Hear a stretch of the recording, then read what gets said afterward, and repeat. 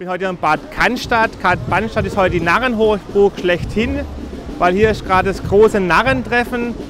70 Zünfte aus dem Südwesten und aus der Schweiz nehmen teil. Das ist ein ganz besonderer Umzug, weil ähm, das sind sehr traditionelle Zünfte, die auch äh, in einem Verband, dem VSAN, dem äh, Verband Schwäbisch-Alemannischer Narrenzünfte zusammengeschlossen sind. 2,5 Kilometer lang ist die Umzugsstrecke, 10.000 Hästräger sind dabei, viele bunte Gewänder, unterschiedliche Ideen, was dahinter steckt. Gestern gab es schon einen Brauchtumstag hier, da haben sich Zünfte vorgestellt. Ich befinde mich hier in einem, in einem Häs der äh, örtlichen Zunft, und zwar der Zunft Kübelesmarkt Bad Cannstatt. Das ist ein sogenanntes Felbenhäs. Man sieht es hier an den Plätzle den unterschiedlichen Farben. Hier eine Lindenholzmaske und hier eine Weinbergrätsche. Ganz wichtig auch die Handschuhe.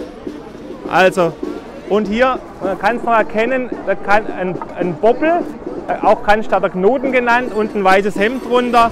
Es ist natürlich sehr wichtig, dass man sich auch an die Tradition natürlich hält und genau auch so auf den Umzug mitläuft. Also vielleicht muss ich noch mal erklären, das ist ein Freundschaftshaus, das habe ich von den Narren aus Cannstatt bekommen. Und warum mich das einfach so fasziniert, sind einfach die Geschichte und die Tradition, die hinter diesen Masken steckt. Also jede Zunft hat eine andere Geschichte. Die sind meistens auch bis zum 12. Jahrhundert gibt es zum Teil Überlieferungen von Narren hier in Baden-Württemberg. Es gibt eine wunderbare Geschichte, die hinter jedem Zunft steckt. Und es ist natürlich auch eine riesige, große Familie, muss man wirklich sagen. Hier sind alle per Du, alle Narren.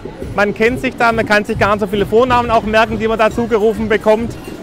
Also ich glaube, dass ein ganz großes Gemeinschaftsgefühl einfach so einer Zunft entsteht. Ich habe vor kurzem mal gesagt, es ist so, im Sportverein muss jemand gut Fußball spielen können, muss gut Handball spielen können, definiert man sich aber einen Sport. Hier gibt es ganz unterschiedliche Menschen, die zusammenkommen und einfach Spaß haben an Tradition, am Feiern, am Zusammensein, am Spaß zusammen haben und das gefällt ja ganz vielen.